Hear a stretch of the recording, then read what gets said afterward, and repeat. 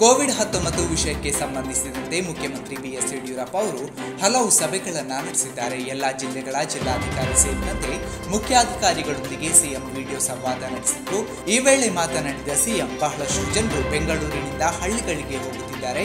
ಅವರ ಬಗ್ಗೆ ನಿಗಾ ಇರಿಸಿ, ರೋಗಿಗಳಿಗೆ ಮೆಡಿಕಲ್ ಕಿಟ್ ನೀಡಲು ವ್ಯವಸ್ಥೆ ಮಾಡಬೇಕು. ಹೋಮ್ ಐಸೋಲೇಷನ್ ಬಯಸುವವರಿಗೆ ಸೂಕ್ತ ವೈದ್ಯಕೀಯ ಸಲಹೆ ನೀಡಬೇಕು ಎಂದು ಸಿಎಂ ಸೂಚಿಸಿದ್ದಾರೆ. ಪುತ್ತೂರು ಮೂಲದ ವ್ಯಕ್ತಿಯೊಬ್ಬರು ಪಾಣೆಮಂಗಳೂರು ಸೇತುವೆಯಿಂದ ನೇತ್ರಾವತಿ ನದಿಗೆ ಹಾರಿ ಆತ್ಮಹತ್ಯೆ ಮಾಡಿಕೊಂಡ ಘಟನೆ ನಡೆದಿದೆ. ಪುತ್ತೂರು ನಿವಾಸಿ ನಿರಂಜನ ಆತ್ಮಹತ್ಯೆ ಮಾಡಿಕೊಂಡ ವ್ಯಕ್ತಿ ಇಂದು ಮುಂಜಾನೆ ಬೈಕ್ನಲ್ಲಿ ಬಂದು ಪಾಣೆಮಂಗಳೂರು ಹಳ್ಳಿ ಸೇತುವೆ ಮೇಲಿನಿಂದ ನದಿಗೆ ಹಾರಿದ್ದಾರೆ ಎನ್ನಲಾಗಿದೆ.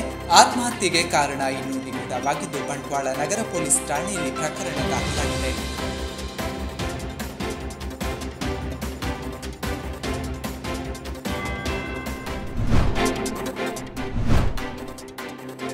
ಲಾಕ್ಡೌನ್ ಕರ್ಫ್ಯೂ ಮಧ್ಯೆಯೂ ಕೋವಿಡ್ ನಿಗ್ರಹ ಲಸಿಕೆ ಹಾಕಿಸಿಕೊಳ್ಳಲು ಅವಕಾಶ ನೀಡುವುದಾಗಿ ಜಿಲ್ಲಾಡಳಿತ ಅವಕಾಶ ಕಲ್ಪಿಸಿದ ಮೇರೆಗೆ ದೇರಳಕಟ್ಟೆ ಸಮೀಪದ ನಾಟಕಲ್ನಲ್ಲಿರುವ ಪ್ರಾಥಮಿಕ ಆರೋಗ್ಯ ಕೇಂದ್ರಕ್ಕೆ ಲಸಿಕೆ ಹಾಕಿಸಿಕೊಳ್ಳಲು ಬಂದ ನಾಗರಿಕರು ಲಸಿಕೆ ಸಿಗದೆ ವಾಪಸ್ ಮನೆಗೆ ಮರಳಿದ ಘಟನೆ ನಡೆದಿದೆ. ಈ ಕೇಂದ್ರದಲ್ಲಿ ಲಸಿಕೆ ಹಾಕಿಸಿಕೊಳ್ಳಲು ಸುಮಾರು ಇನ್ನೂರಕ್ಕೂ ಅಧಿಕ ಮಂದಿ ತೆರಳಿದ್ದರು.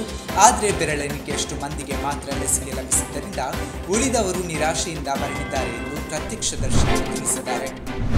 ಮಾಸ್ಕ್ ಹಾಕಿಲ್ಲದ ಬಡ ಕೂಲಿ ಕಾರ್ಮಿಕರೊಬ್ಬರಿಗೆ ದಂಡ ವಿಧಿಸಿದ್ದ ಅಧಿಕಾರಿ, ಕೊನೆಗೆ ಕೂಲಿ ಕಾರ್ಮಿಕನ ಸ್ಥಿತಿ ನೋಡಿ ತಾವೇ ದಂಡದ ಹಣವನ್ನು ಕಟ್ಟಿದ ಘಟನೆ ಕಡಪ ಪೇಟೆಯಲ್ಲಿ ನಡೆದಿದೆ. ಕೂಲಿ ಕೆಲಸಕ್ಕೆಂದು ತೆರಳಿ ಹಿಂದಿರುಗುತ್ತಿದ್ದ ದಂಪತಿ ಮಾಸ್ಕ್ ಧರಿಸದೆ ಕಡಬ ಬಸ್ ನಿಲ್ದಾಣದಲ್ಲಿ ಈ ಸಂದರ್ಭ ಕಡಬ ಪಟ್ಟಣ ಪಂಚಾಯತ್ನ ಕೊರೋನಾ ವಾರಿಯರ್ಸ್ ತಂಡದ ಅಧಿಕಾರಿಯೋರ್ವರು ಮಾಸ್ಕ್ ಧರಿಸಿದ ಹಿನ್ನೆಲೆ ನೂರು ರೂಪಾಯಿ ದಂಡ ವಿಧಿಸಿ ಜಿಲ್ಲಾಡಳಿತದ ರಶೀದಿಯನ್ನ ನೀಡಿದ್ದಾರೆ. ಆದರೆ ಕಾರ್ಮಿಕನಲ್ಲಿ ಹಣವಿಲ್ಲದ ಕಾರಣ ಅಧಿಕಾರಿಗಳೇ ದಂಡ ಭರಿಸಿದ್ದಾರೆ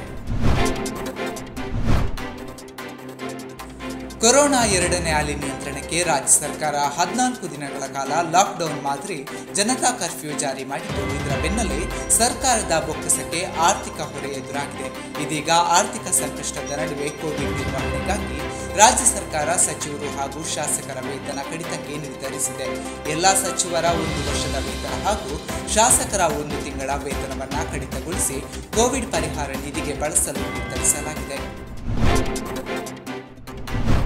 ಪತ್ನಿ ಸಾವನ್ನಪ್ಪಿದ ಕೆಲವೇ ಗಂಟೆಗಳಲ್ಲಿ ಪತ್ನಿಯು ಮೃತಪಟ್ಟ ಘಟನೆ ಉಳ್ಳಾಲದ ಮಾಸ್ತಿಕಟ್ಟೆಯಲ್ಲಿ ನಿನ್ನೆ ತಡರಾತ್ರಿ ನಡೆದಿದೆ. ಕಾಂಗ್ರೆಸ್ ಮುಖಂಡ ನಸೀರ್ ಅಹ್ಮದ್ ಮತ್ತು ಅವರ ಪತ್ನಿ ಜಮೀಲಾ ಮೃತಪಟ್ಟ ದಂಪತಿಗಳಾಗಿದ್ದಾರೆ. ನಸೀರ್ ಅಹ್ಮದ್ ಅವರು ನ್ಯೂಮೋನಿಯಾದಿಂದ ಬಳಲುತ್ತಿದ್ದು ನಿನ್ನೆ ರಾತ್ರಿ ತೀವ್ರ ಅಸೌಖ್ಯ ಉಂಟಾಗಿದ್ದು, ಈ ಹಿನ್ನೆಲೆ ಅವರನ್ನ ತೊಕ್ಕೊಟ್ಟಿನ ಖಾಸಗಿ ಆಸ್ಪತ್ರೆಗೆ ಸಾಗಿಸುವ ವೇಳೆ ಅಸುನೀಗಿದ್ದಾರೆ ಪತಿ ಆಗಲುವಿಕೆಯಿಂದ ಕೂಗಿ ಹೋದ ಜಮೀಲಾ ಸುಮಾರು ಎರಡು ಮೂವತ್ತರ ವೇಳೆಗೆ ಹೃದಯಾಘಾತದಿಂದ ಸಾವನ್ನಪ್ಪಿದ್ದಾರೆ.